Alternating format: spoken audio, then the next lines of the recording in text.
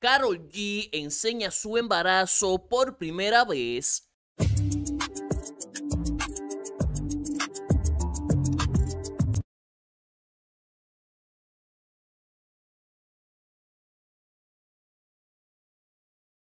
Póngase cómodo y no se mueva de la pantalla porque esto se pondrá interesante. Dale me gusta a este video y si no estás suscrito al canal te invito a que te suscriba y active la campanita. Pero antes de continuar con el video, un saludito para Yanina Paola, Ángel Hernández, DJ Kila, Margot Martínez y para Ángel Rivera.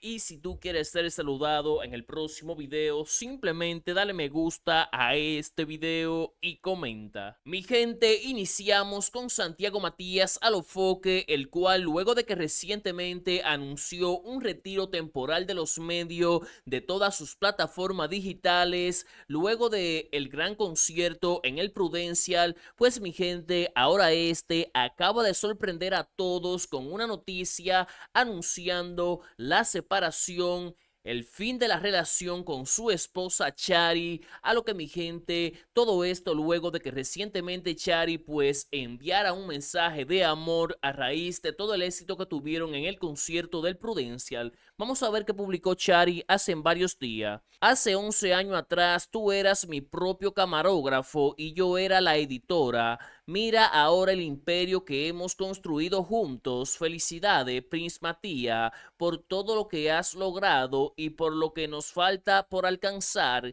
Gracias a nuestro equipo técnico por el gran trabajo que han hecho siempre y gracias a nuestra familia Iluminado sin filtro por ser parte de nuestra vida. No saben lo que cada uno de ustedes significa para nosotros. Los amamos. Y luego de ese mensaje, hace varios días, de Chari, la esposa de Alofoque Santiago Matías, pues ahora Alofoque, luego de que anuncia su retiro temporal de los medios, comienza a desahogarse a través de su historia de Instagram diciendo, soltero a viajar el FK mundo, harto de vivir una mentira, vacaciones ilimitadas, no esperen por ahora. He dicho como en 600 pocas que no tengo miedo a empezar de cero, estoy preparado para ir a vivir a Capotillo, sería más feliz en el barrio que vivir en ese infierno en la Nacaona. ¿De qué imperio me hablan? hace años no me sentía liberado ni manipulado. Yo a Byron con un año y medio lo mandé a freír tusa para Suiza. Veo que muchos saben quién es Alofoque, pero no me conocen y luego le envía un mensaje al doctor Nastra, el cual trató pues de mediar la situación para que Alofoque no publicara toda esta situación personal que supuestamente está pasando con su esposa y este le dice, doctor, tú no eres Ana Simón, no venga el lunes con el One Davy a analizar mi story, si me da la gana de publicar mis cosas, usted no paga internet, el que más te beneficia de mis crisis. Doctor, sigue cocinando tu don en ríos y dame banda. Ahí está el desahogo de Santiago Matías Alofoque, el cual luego de su retiro temporal pues ha anunciado que está soltero y este mi gente pues deja saber que no le estaba pasando nada bien con su esposa. Y esto mi gente no se sabe si es real o es un sonido o de qué se trata todo esto, si un experimento, pero mi gente, saquen sus conclusiones y déjelo en los comentarios. ¿Creen todo esto que está pasando entre Alofoque y su esposa o creen que realmente es un sonido o un experimento? Déjelo en los comentarios. Y por otro lado, mi gente, el alfa, el jefe, supuestamente Cristian Casablanca se acaba de comprar un nuevo Bugatti y miren de qué Bugatti se trata. Miren esto. Discúlpame, es una primicia. El Alfa se acaba de comprar otro Bugatti, el Bugatti Turbillón. El de la ala para arriba de 2000 caballos. El, nuevo, lo último. Comprar otro Bugatti. Otro Bugatti Turbillón. Oye, ¿dónde? En Francia.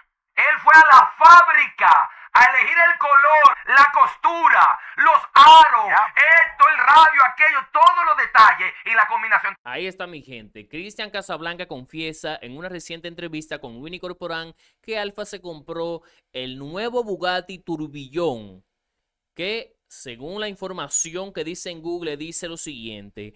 El Bugatti Tourbillon entra ahora en su fase de prueba con prototipos ya en circulación a la espera de ser entregado a los clientes en el 2026 o sea, el próximo año, se construirán en total 250 ejemplares con un precio inicial de 3.8 millones de euros.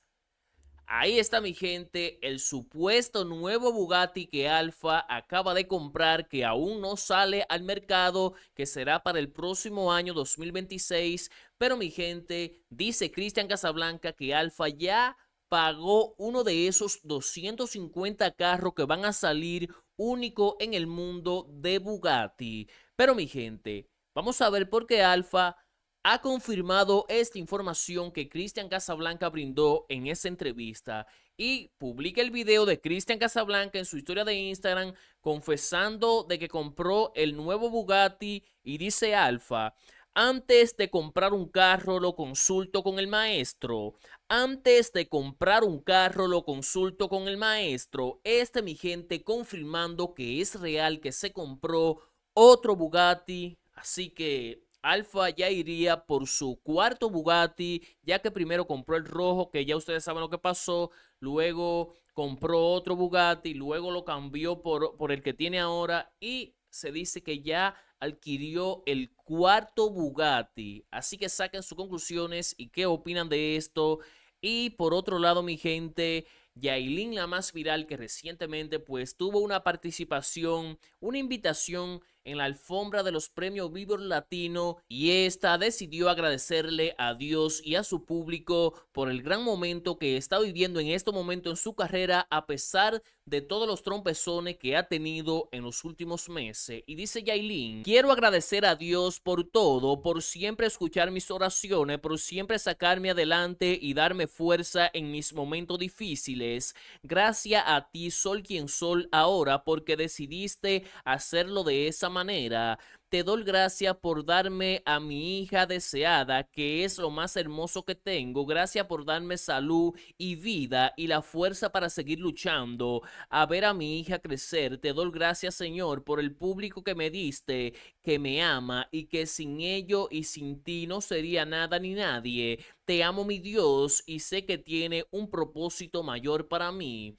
Ahí está el mensaje de agradecimiento a Dios de Yailin, la más viral, por este momento tan importante que está viviendo en su carrera en este momento, que realmente Yailin, a pesar de todo lo que ha pasado en su vida y en su carrera, luego de la separación con Tecachi, la situación de la demanda, eh, la presentación fallida en el concierto de Alofoque en el Prudencial, esta mi gente se ha levantado nuevamente y lanzó una canción que está pegada, que ya ustedes saben el título, que no le mencionaré aquí, pero esta mi gente ha anunciado un segundo tema que suena que se va a pegar. Vamos a ver un poco de esta nueva canción, del preview de esta canción que Yailin pues lo brindó a su público a través de un envío. Vamos a escuchar. Pantera, que todavía le queda por la vaina. Escuchen. Mi hermana. Tiene un saoco, tiene un saoco el nuevo tema. Recuerden que no puedo ponerlo completo este preview porque hay problema, pero escuchen esto. Oh, tiene un coro pegajoso, mi gente. Yailin, la más viral, anuncia un tema tras de otro luego de este exitoso tema que está pegado de chat y ahora anuncia este segundo tema. Escuchen cómo suena. Bueno, mi gente, suena bien la pista, suena bien el coro. Y Aileen, la más viral, anuncia nuevo tema. ¿Quiere darle Oh, le metió los aplausos aquí, mi gente. Los aplausos que en un momento estaban predominando el dembow. Y pues ya habían soltado eso. Y Yailin lo trae de nuevo en este tema. Ay. Te estoy esperando. Aquí, mi gente, vamos a escuchar porque esta se la dejó caer aparentemente a una de sus colegas y ya ustedes se imaginarán a quién. Escuchen esto. que yo le di el pero lo perdí. Que ella le dio el espacio para que la aprendieran, que esta pues estuvo retirada en un momento para que ella pues tuvieran su oportunidad y que no hicieron nada. Esto es prácticamente lo que dice Yailin en esta canción, aparentemente para una de sus colegas. Vaya comentando para aquí. Soy la tu que el Ahí está mi gente con lo nuevo que viene Yailin. ¿Se pega o no se pega? Déjelo en los comentarios. Y por otro lado mi gente, Karol G, que ustedes saben recientemente le dio fin a su gira y anunció luego su retiro temporal por todo lo que queda de este año 2024 de los escenarios. Y comenzaron los comentarios y los rumores de que esta supuestamente estaba embarazada y que por esa razón se retiraba de los escenarios ya que había hecho pública su relación con Faye y de que supuestamente en algunos momentos de sus últimos conciertos se le pudo ver una barriguita, pues mi gente, ahora Carol G reaparece en un concierto de Ryan Castro donde esta mi gente pues andaba con una ropa ancha, pero no se pudo disimular que esta aparentemente tiene una barriguita que está embarazada y la deja ver por primera vez ante el público. Miren esto, vamos a ver el video. Miren, miren eso, miren, no, no, no, no, esto tiene que ser, miren, eh, miren. Eso no puede ser, mi gente, que Carol G está pasadita de libra.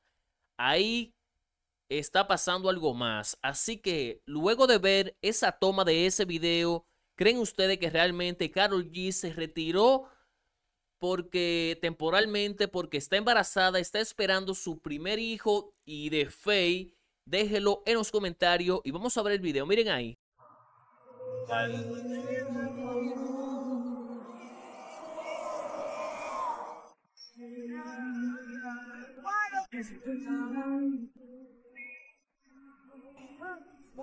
Solo del